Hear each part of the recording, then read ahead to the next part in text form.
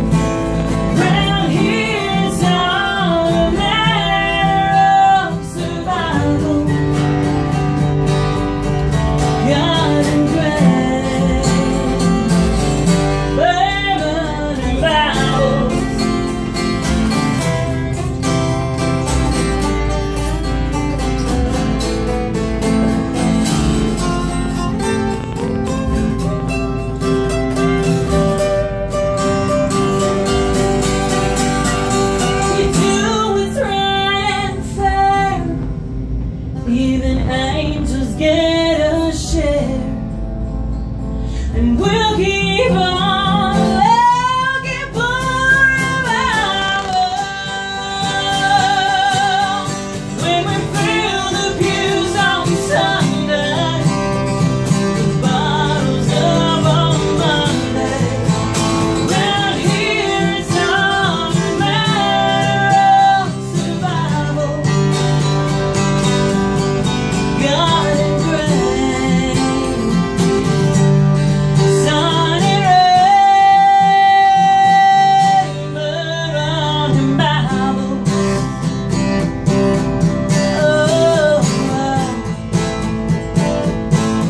good.